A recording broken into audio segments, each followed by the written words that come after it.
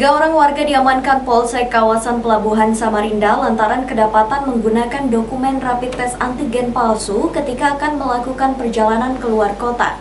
Ketiga orang tersangka itu adalah dua calon penumpang dan satu orang pembuatnya. Berikut informasinya. Merasa kesulitan mendapatkan surat tes antigen bebas dari virus corona, dua orang pemuda yang hendak berangkat ke Parepare, Sulawesi Selatan menempuh jalan pintas. Keduanya membeli surat tes antigen palsu dari seseorang, namun apes ditemukan petugas Polsek kawasan Pelabuhan Samarinda. Ketiga tersangka itu adalah J dan L selaku pemesan surat antigen palsu tersebut kepada A. Keduanya sudah memesan sejak 30 Januari 2021 karena akan melakukan perjalanan menumpang kapal laut menuju Parepare, Sulawesi Selatan pada 7 Februari 2021 lalu.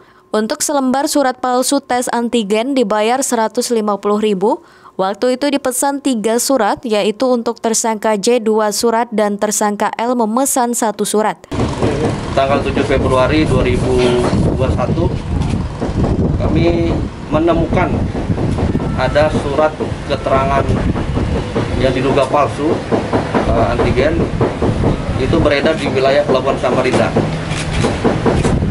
di mana calon penumpang uh, hendak berangkat ke Parepare setelah saat dicek dengan validasi pihak KKP kami duga itu adalah palsu. Dan kami kuat adalah palsu. Kemudian dengan atas temuan itu uh, dari pihak KKP berkoordinasi dengan kami kepolisian untuk melakukan penyelidikan. Dari hasil penyelidikan kami kami berhasil mengamankan tiga orang pelaku atau tersangka. Uh, di mana tersangka tersangka pertama yaitu inisial L kemudian tersangka dua inisial J dan tersangka ketiga adalah Abdani inisial A Kasus pemalsuan oleh tersangka A ternyata sudah dilakukan sejak bulan Januari lalu. Sedikitnya sudah ada sembilan surat antigen dicetak dan digunakan, namun baru sekali ini terbongkar. Surat dokumen itu sekilas nampak terlihat asli, sehingga bisa saja petugas terkecoh saat memeriksa calon penumpang yang akan berangkat di pelabuhan. Uh, kejadian ini atau uh, sudah di, di, dilakukan dari bulan Januari. Kemungkinan sudah sekitar 9 kali dia melakukan uh, pemalsuan surat rapid sembilan kali yang digunakan untuk memalsukan surat rapid test ini Pak? Alat yang digunakan adalah dari alat CPU, komputer lengkap, printer, kemudian HP dari masing-masing tersangka kita amankan.